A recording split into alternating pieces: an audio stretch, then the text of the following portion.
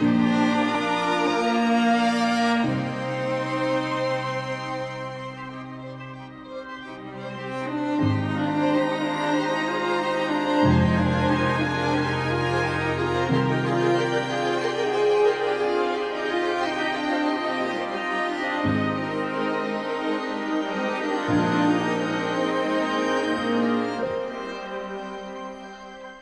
J'ai choisi d'étudier en musique parce que ça a toujours fait partie de moi. Depuis que je suis petite, je touche à tous les instruments, je chante et euh, pour moi c'était juste la suite euh, logique de continuer en musique.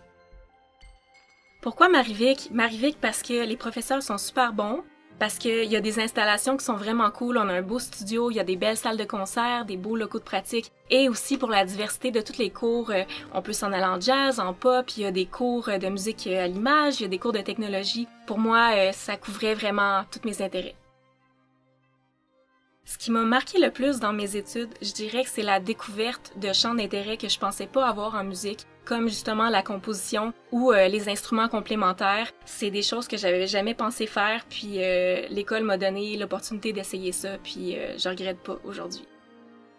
Maintenant, je suis compositrice à l'image. Je travaille essentiellement en film, en télévision et en installation de toutes sortes. J'ai mon propre studio et à ce jour, j'ai fait une vingtaine de films et de documentaires.